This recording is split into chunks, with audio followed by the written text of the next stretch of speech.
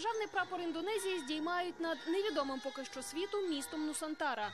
Вперше за 77 років країна відзначає День Незалежності не в Джакарті, адже найближчим часом столицю перенесуть. Новий політичний центр країни розташується за дві тисячі кілометрів від нинішнього на острові Борнео.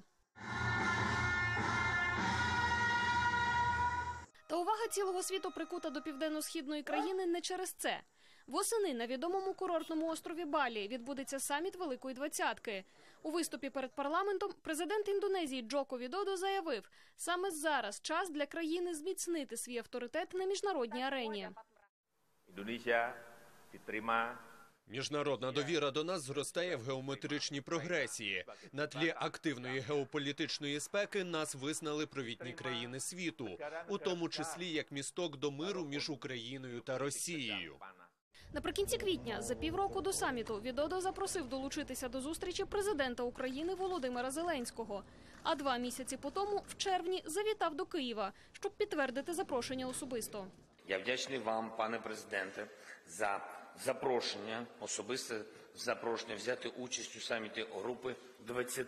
І, звичайно, я приймаю це запрошення. Участь України буде залежати від безпекової ситуації в Україні і від складу учасників саміту. І ключове питання в цьому участь Росії, через яку Індонезія опинилася на роздоріжжі. В особистій присутності кремлівського лідера зацікавлені Китай, Індія, Бразилія та ще кілька учасників G20. Передусім, щоб обговорити глобальні шляхи подолання негативних наслідків пандемії. Натомість численні західні лідери, зокрема Джо Байден, заявили, якщо Путін насмілиться приїхати, вони зустрінуть його бойкотом. Україна ймовірним приїздом Путіна теж не задоволена. There is a strong push Чимало учасників наполягають на негайному припиненні війни в Україні та мирному розв'язанні конфлікту шляхом дипломатії та переговорів. Ми занепокоєні тим, що політична багатосторонність опинилася під загрозою. Ефективно відповідати на глобальні виклики стає дедалі складніше. Після всього, що скоїла Росія, їй не місце на жодних міжнародних форумах.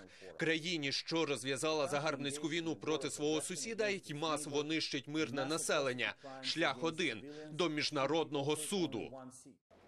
До міжнародного бойкоту Росії не звикати. В липні, коли на саміт Великої Двадцятки зібралися міністри закордонних справ, очільник російського МЗС Сергій Лавров відчув світову неприязнь особисто. Під час рукостискань з господарем заходу на адресу міністра полетіли звинувачення у війні та запитання, навіщо Росія вторглася в Україну. А потому ніхто не захотів робити із ним спільні світлини. Через бойкот Лавров покинув саміт передчасно. Чому почали війну? Чому почали війну? Щодо участі Путіна в якості компромісного варіанту розглядали відеозв'язок. Прес-служба Кремля від коментарів наразі утримується. Анна Басова, подробиці телеканал Інтер, марафон. Єдині новини.